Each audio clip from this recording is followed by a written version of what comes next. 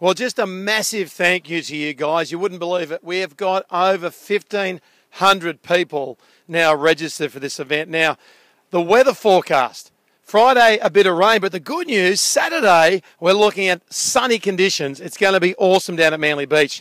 The thing is, you've got to turn up though, mark your name off to get this t shirt. You've got to do the event. It's a 30 minute workout. It's not that hard.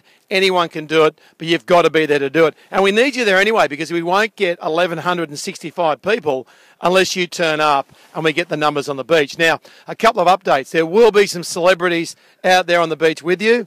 You've got Dicko TV, uh, Suppose, personality Dicko, he'll be there in the crowd as well. You've got Layne Beachley, seven times world surfing champion, is doing the workout as well, as well as Olympic gold medalist from Sydney from the games there, the beach volleyball champion, Kerri Pottharst. Now, you can't have an event like this without having some people that help you out. Bupa, the health insurance company, have been fantastic.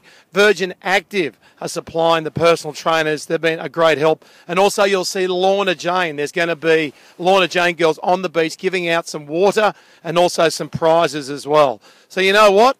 We're looking good. It's going to be awesome. We're going to create history. We're going to make a world record, but you got to turn up. See you then.